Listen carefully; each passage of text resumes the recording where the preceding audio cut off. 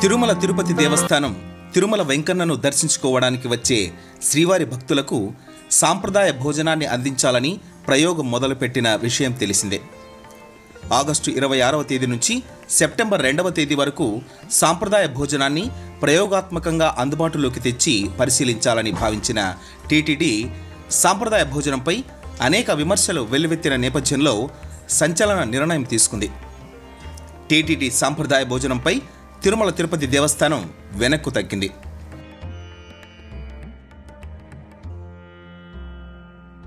అసలు తిరుమల తిరుపతి దేవస్థానం తీసుకువచ్చిన సాంప్రదాయ భోజన విధానం ఏంటి?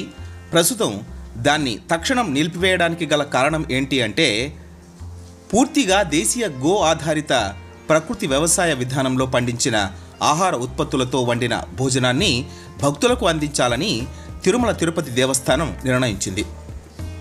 ఈ ఆహార పదార్థాలను తినడం వల్ల వ్యాధి నిరోధక శక్తి పెరుగుతుందని ప్రస్తుత కరోనా సమయంలో శాస్త్రవేత్తలు కూడా ఇమ్యూనిటీని పెంచే ఆహారాన్ని ప్రధానంగా చర్చిస్తున్నారని TTD EO doctor Jawahar Reddy వెల్లడించారు. ఈ క్రమంలోనే తిరుమలకు వచ్చే భక్తుల కోసం సహజసిద్ధమైన సాంప్రదాయ భోజనాన్ని అందించడానికి నిర్ణయించారు.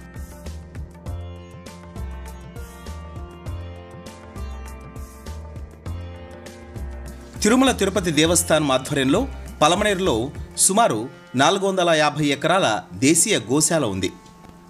సేంద్రియ ఎరువులు పంచగవ్య వంటివి ఇక్కడ ఉత్పత్తి అవుతున్నాయి. వీటి ద్వారా గో ఆధారిత వ్యవసాయాన్ని నిర్వహిస్తున్నారు. దేశీయ ఆవుల ఎరువులతో పండించిన పంటలతో సాంప్రదాయ ఆహారాన్ని తయారు చేసి భక్తులకు అందించాలని టీటీడీ భావించింది.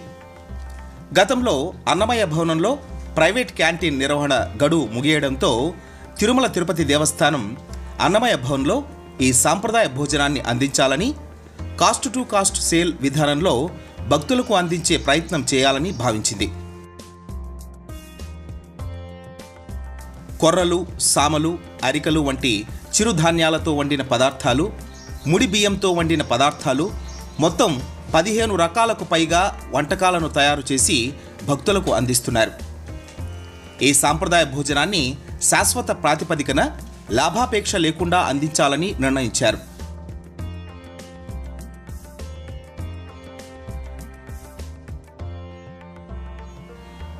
భోజనానికి డబ్బులు తీసుకోవాలని నిర్ణయించడంపై సామాజిక మాధ్యమాల్లో విమర్శలు వెలువగా రావడంతో టీటీడీ చైర్మన్ వైవి సుబ్బారెడ్డి సాంప్రదాయ భోజన విధానాన్ని తక్షణమే నిలిపివేస్తున్నట్లు ప్రకటించారు. దీనిపై అధికారులతో కూడా చర్చించామని ఆయన తెలిపారు.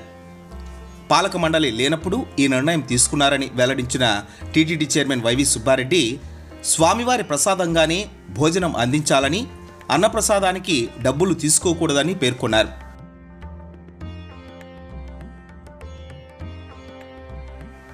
ఇదే సమయంలో తిరుమల సాంప్రదాయ భోజనంపై సోషల్ మీడియాలో తప్పుడు ప్రచారం చేస్తే వారిపై చర్యలు తీసుకుంటామని ఆయన హెచ్చరించారు.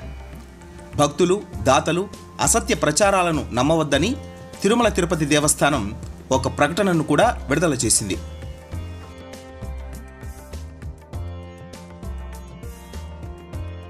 సాంప్రదాయ వ్యవసాయం ద్వారా పండించిన పదార్థాలతోటి భక్తులకి ప్రయోగాత్మకంగా భోజనం పెట్టాలని ఒక ప్రయత్నం చేశారు మా అధికారులు.